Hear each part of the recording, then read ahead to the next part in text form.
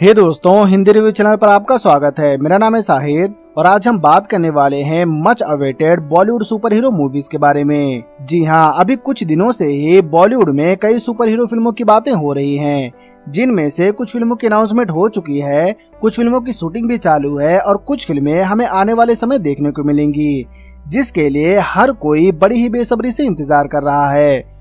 तो आज हम उन्हीं फ़िल्मों के बारे में बात करेंगे। तो चलिए जानते हैं top five much awaited Bollywood super hero movies के बारे में। तो अगर आपको भी ऐसे इंटरेस्टिंग वीडियो देखना पसंद है तो आप हमारे चैनल को सब्सक्राइब करें। और साथ में उस घंटी को भी दबाएँ ताकि नई वीडियो की जानकारी आप तक सबसे पहले पहुँचे। नंबर पाँच, ब्रह्मास्त्र। रणबीर कपूर की पहली सुपर हीरो फ़िल्म ब्रह्मास्त्र के बारे में तो हर कोई जानता होगा, जिसे करीब दो साल से बनाया जा रहा है। हालाँकि ये फ़िल्म पिछले ही साल दिसंबर में रिलीज़ होने वाली थी, लेकिन शूटिंग में देरी के कारण फ़िल्म को पोस्टपोन कर दिया गया। और अब ये फ़िल्म हमें दिसंबर 2020 में देखने को मिलेगी। फ़िल्म से जुड़ी बस यही बात सामने आई है कि इस फ़िल्म में रणबीर कपूर सुपर हीरो हैं। उसके अलावा कुछ भी रिवील नहीं किया गया है। हाँ इतना ज़रूर सुनने में आया है कि रणबीर कपूर इस फ़िल्म में कॉलेज स्टूडेंट होंगे। वहीं आलिया भट्ट भी कॉलेज स्टूडेंट होंगी। तो अब देखते हैं कि हमारा ये नया सुपर हीरो कैसा होता है। और साथ ही सुपर हीरो का कॉस्ट्यूम क्योंकि एक सुपर हीरो अपने सूट के बिना कितना अधूरा है, ये तो आप सब जानते ही हैं। नंबर चार first Indian female super hero film and game के टाइम ही ये खबर काफ़ी ज़्यादा चर्चाओं में थी कि दीपिका पादुकोण एक सुपर हीरो फ़िल्म में लीड रोल में नज़र आएँगी। लेकिन फिर बाद में क्या हुआ, किसी को कुछ भी पता नहीं। लेकिन एक बार फिर ये खबर काफ़ी ज़्यादा गर्म हो रही है कि दीपिका पादुकोण आने वाले कुछ दिनों में एक फीमेल सुपर हीरो फ़िल्म की शूटिंग चालू करने वाली हैं। तो ये इंडियन सिनेमा के इतिहास में पहली बार होगा जब फीमेल सुपर हीरो पर फ़िल्म बनेगी, जो कि बहुत बड़ी बात है, क्योंकि इससे पहले इंडिया में ऐसी कोई फ़िल्म नहीं बनी है। सुनने में आया है कि इस फ़िल्म की शूटिंग 2020 के एंड तक स्टार्ट होगी और इसे 2021 में रिलीज़ किया जाएगा।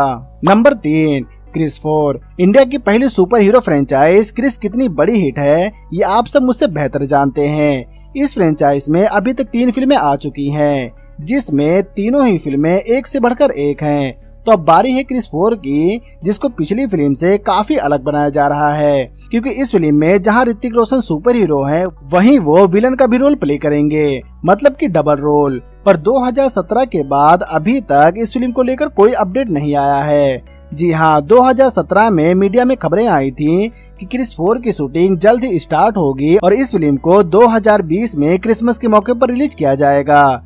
पर क्रिस फोर से जुड़ी अभी तो फ़िलहाल कोई भी अपडेट नहीं आई है कि आखिर में इस फ़िल्म की शूटिंग चालू भी है या नहीं। तो क्या ये फ़िल्म इस साल रिलीज़ होगी या नहीं, ये किसी को नहीं पता। लेकिन ज़्यादा चांसेस है कि ये फ़िल्म अगले साल रिलीज़ होगी। नंबर दो रणवीर सिंह प्ले नागराज करेक्टर। 7 दिसंबर 2019 को राज कॉमिक के स्टूडियो हेड संजय गुप्ता ने अपने फेसबुक पर ये पोस्ट डाल के सबको चौंका दिया था, जिसमें साफ़ साफ़ लिखा है कि आजकल करण जौहर और रणवीर सिंह से नागराज की मुलाकातें बढ़ गई है। मतलब कि साफ़ है कि करण जौहर नागराज पर फ़िल्म बनाने की प्लानिंग कर रहे हैं, जिसमें वो रणवीर सिंह को कास्ट करेंगे। लेकिन अभी इस फ़िल्म में टाइम लगेगा, क्योंकि इस साल वैसे ही रणवीर सिंह की दो फ़िल्में रिलीज़ होने वाली है। वहीं 2021 में एक बड़ी फ़िल्म तख्त भी आने वाली है। तो अगर नागराज पर फ़िल्म बन रही है तो ये फ़िल्म 2022 में ही देखने को मिलेगी।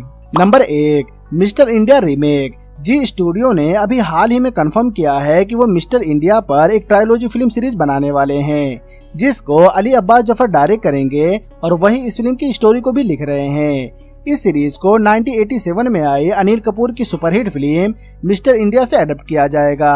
मतलब कि जिस तरह से अनिल कपूर घड़ी पहन के गायब हो जाते थे, ठीक उसी तरह से इस फ़िल्म में भी होगा। लेकिन बाकी चीज़ें काफ़ी अलग होंगी, क्योंकि इस सीरीज़ को एक अलग काल्पनिक यूनिवर्स की तरह बनाया जाएगा, जिस तरह से हमने एमसीयू में देखा था। फ़िल्म से जुड़ी बाकी की अपडेट बहुत ही जल्द आने वाली है। पर सबसे बड़ा सवाल ये है कि इस फ़िल्म में लीड एक्टर के तौर पर किसे लेना चाहिए? अब ऐसे तो बॉलीवुड में कई एक्टर हैं, लेकिन ये रोल किसके ऊपर सूट करेगा, ये देखने वाली बात होगी। वैसे आपको क्या लगता है, इस फ़िल्म में मिस्टर इंडिया के रोल में किसे लेना चाहिए? हमें कमेंट में ज़रूर बताएँ। तो दोस्तों, ये थी कुछ upcoming Bollywood super hero film जो आने वाले कुछ दिनों और सालों में हमें देखने को मिलेगी। तो आप इन फ़िल्मों में से किस फ़िल्म के लिए सबसे ज़्यादा एक्साइटेड हैं, हमें कमेंट में ज़रूर बताएँ। वीडियो को लाइक करें, अपने दोस्तों के साथ भी फेसबुक और ट्विटर पर ज़रूर शेयर करें। और चैनल को सब्सक्राइब करना तो बिल्कुल ना भूलें। धन्यवाद।